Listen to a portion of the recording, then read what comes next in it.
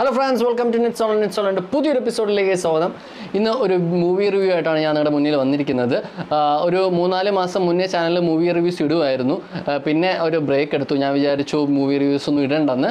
പക്ഷേ ഇന്നലെയാണ് നമ്മുടെ ലേറ്റസ്റ്റ് ആയിട്ട് പുറത്തിറങ്ങിയ കാന്താര എന്ന സിനിമ ഞാൻ കണ്ടത്. അത് കണ്ട് കഴിഞ്ഞതിന് ശേഷം ഞാൻ വിചാരിച്ചു ഒരു റിവ്യൂ വീഡിയോ എന്തായാലും ഇടണമെന്ന്. അത്രത്തോളം ആ സിനിമ എനിക്ക് ഇഷ്ടപ്പെട്ടു. സോ ആ ഒരു ഇൻഫർമേഷൻ നിങ്ങളുമായിട്ട് പങ്കുവയ്ക്കണമെന്ന് തോന്നി. നമ്മുടെ സബ്സ്ക്രൈബേഴ്സുമായിട്ട് പങ്കുവയ്ക്കണമെന്ന് തോന്നി. അതുകൊണ്ടാണ് ഇന്നത്തെ ഈ വീഡിയോ ചെയ്യുന്നത്. ഈ വീഡിയോയിൽ ഒരു സ്പോയിലേഴ്സ് തന്നെ ഇല്ല നിങ്ങൾക്ക് ധൈര്യമായിട്ട് ഈ വീഡിയോ മുഴുവനായിട്ട് കാണാം. പിന്നെ ഈ വീഡിയോയുടെ അവസാനം ഞാൻ കുറച്ച് ഇൻട്രസ്റ്റിംഗ് ആയിട്ടുള്ള ഫാക്സ് ഈ കാന്താര മൂവിയെ പറ്റിയിട്ടുള്ള ഇൻട്രസ്റ്റിംഗ് ആയിട്ടുള്ള ഫാക്സ് പറയുന്നുണ്ട്.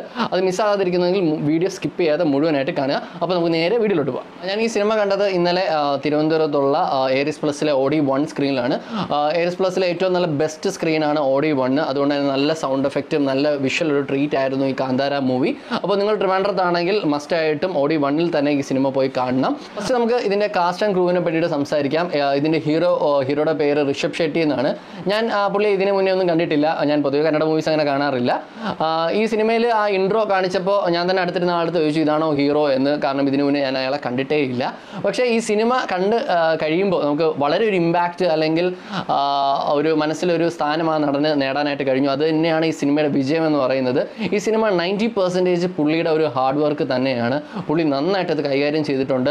അതിൽ ഫസ്റ്റ് ഫസ്റ്റ് ഫസ്റ്റ് ഹാഫ് ആയിക്കോട്ടെ അല്ലെങ്കിൽ ഏറ്റവും ഏറ്റവും ലാസ്റ്റാണ് പുള്ളിയുടെ ആ ഒരു അഭിനയ മികവ് നമ്മൾ കാണാനായിട്ട് പറ്റുന്ന ഏറ്റവും ലാസ്റ്റ് ഒരു ട്വന്റി മിനിറ്റ്സ് ആണ് ഈ സിനിമയെ നമ്മൾ പിടിച്ചിരുത്തുന്നത് നമ്മളെ പിടിച്ചിരുത്തുന്നത്. അതുമാത്രമല്ല അത് മാത്രമല്ല പുള്ളിയുടെ പെർഫോമൻസ് അത് ഏറ്റവും ഈ ലാസ്റ്റ് ഒരു ഇരുപത് മിനിറ്റിലാണ് ഉള്ളത്. ഇനി ഹീറോയിനെ പറ്റിയിട്ട് പറയുകയാണെങ്കിൽ പൊതുവേ ചില സിനിമകളിലൊക്കെ പേരിന് വേണ്ടിയിട്ട് ഒരു ഹീറോയിനെ എടുത്തിടാറുണ്ട്.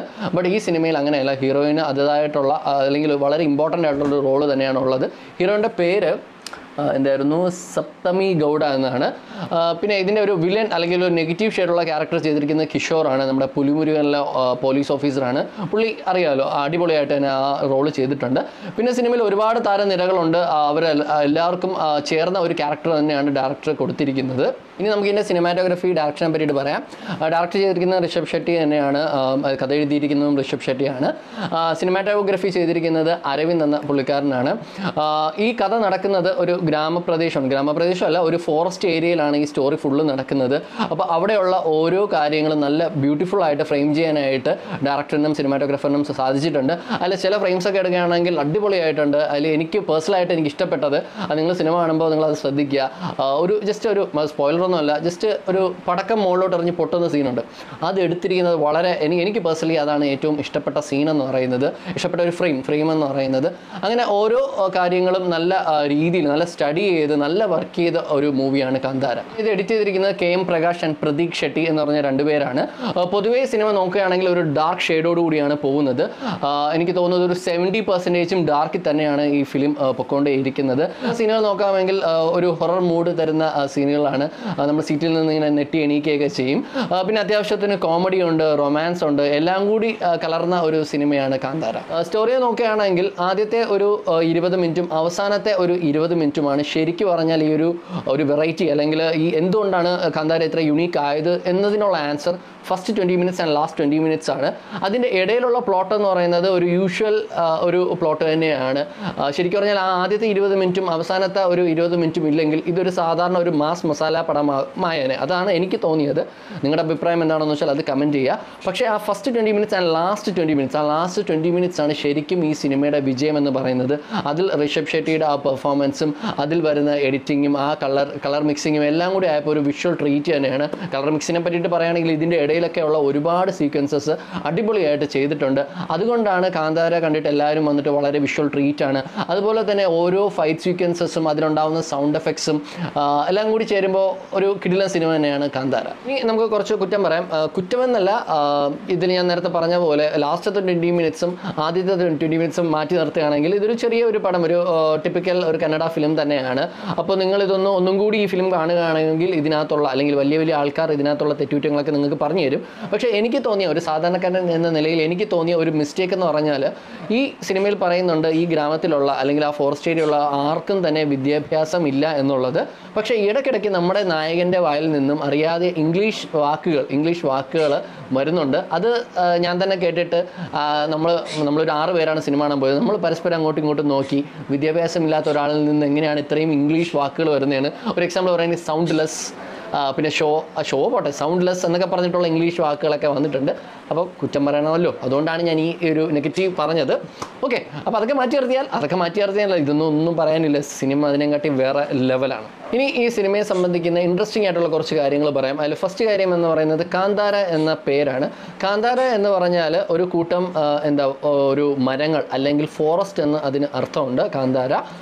എനിക്കറിയില്ലായിരുന്നു മീനിങ് ഞാൻ സിനിമ കണ്ടിട്ട് പിന്നെ ഒന്ന് റിസർച്ച് ചെയ്ത് നോക്കിയിട്ടാണ് എനിക്ക് മനസ്സിലായത്. പിന്നെ രണ്ടാമത്തെ കാര്യം എന്ന് പറയുന്നത് ഋഷഭ് ഷെട്ടി എന്ന ആളെക്കുറിച്ചാണ് ഋഷഭ് ഷെട്ടിയാണ് ഇതിനകത്ത് അഭിനയിച്ചിരിക്കുന്നത്. ഋഷഭ് ഷെട്ടിയുടെ യഥാർത്ഥ പേര് എന്ന് പറയുന്നത് പ്രശാന്ത് ഷെട്ടി എന്നായിരുന്നു. പുള്ളി സിനിമയിലൊക്കെ കയറി തുടങ്ങിയതിന് ശേഷമാണ് ഇങ്ങനെ പേര് മാറ്റിയത്. മൂന്നാമത് പറയാനുള്ളത് ഈ സിനിമയുടെ റൈറ്റർ ഡയറക്ടർ ഹീറോ എല്ലാവരും ഒരാൾ തന്നെയാണ് ഋഷഭ് ഷെട്ടി. എനിക്ക് ശരിക്കും പറഞ്ഞാൽ അതിനെ പറ്റിയിട്ട് അറിയില്ലായിരുന്നു. ഈ സ്റ്റാറിന്റെ ഹീറോയുടെ പേര് പോലും എനിക്ക് അറിയില്ലായിരുന്നു കണ്ടപ്പോൾ. നോക്കിയപ്പോൾ രചന സംവിധാനം ഋഷഭ് ഷെട്ടി എന്ന് എഴുതി കാണിച്ചു. അപ്പോഴും എനിക്കറിയില്ല പുള്ളിയാണ് ഇത് ചെയ്തതെന്ന്. പിന്നെ വീട്ടിൽ വന്ന വിക്കിപീഡിയ ഒക്കെ നോക്കിയപ്പോഴാണ് ഞാൻ ഞെട്ടിയത്. ഇതെല്ലാം ചെയ്തത് ഒരാൾ തന്നെയാണെന്ന്. അതാണ് മൂന്നാമത്തെ ഇൻട്രസ്റ്റിംഗ് പോയിന്റ് ഇനി നാലാമത്തെ പോയിന്റ് എന്ന് പറയുന്നത് ഈ സിനിമയിലെ വരാഹരൂപം എന്ന് പറയുന്ന സോങ് അത് ശരിക്കും ആ, സോങ് എടുത്തിരിക്കുന്നത് നമ്മുടെ തൈക്കുടം ബ്രിഡ്ജിലെ നവരസം എന്ന സോങ് സോങ്ങിൽ നിന്നാണ്.